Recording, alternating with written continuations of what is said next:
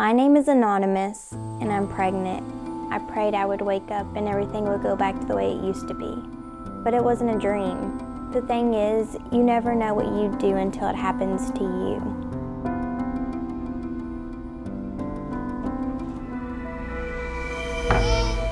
There is hope. If your name is anonymous, then call 866 694 2229 or look up newbornlifeline.com. Dad, it's just a belly shirt. All the girls wear them. Who do you think you are? Christina Aga, Agia, Aguilera? yeah, whatever. They won't let me do anything. I can't dress the way I want, listen to the music I want, watch the movies I want. Oh, it's like a prison over there. These girls just giving them full access? They can't screw my belly button, Dad. Hey, Do what your father says. Whatever. I've been thinking about running away. There has to be better out there. Live by my own rules, go where I want, like you. Shut up! Shh. Take it out! Take it out! Shut up! Shut up!